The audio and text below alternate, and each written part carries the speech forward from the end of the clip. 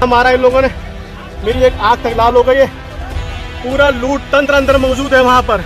आज तक के जिला संवाददाता है उनसे बदतमीजी की गई है वो गेट पर कवरेज के दौरान।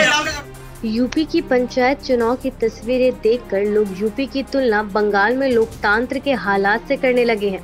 तो बंगाल के नेताओं ने भी इन तस्वीरों को देखकर सीएम योगी आदित्यनाथ के खिलाफ अपना मोर्चा खोल दिया है।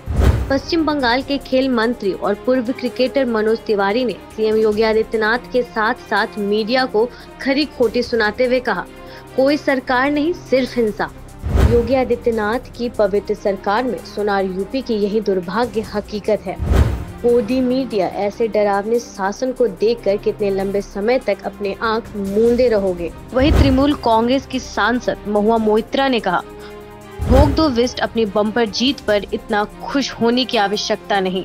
आखिर में वही जीतते हैं जो कछुए की चाल से ईमानदारी से चलते हैं। वरना गंभीर परिणाम भुगतने पड़ते हैं। इसलिए 2022 का इंतज़ार कीजिए। हालाँकि क्रिकेटर मनोज तिवारी और महुआ मोइत्रा जैसे नेताओं को बंगाल की हालत पर भी चिंता करने की आवश्यकता है। जिस तरह बंगाल में चुनावी हिंसा की हकीकत को आँख मूंद कर नजरअंदाज नहीं किया जा सकता, उसी तरह के हालात यूपी के पंचायत चुनाव में दिखाई दिए। लोकतंत्र को दोनों ही प्रदेशों की हिंसा की खबरों ने शर्मसात किया है।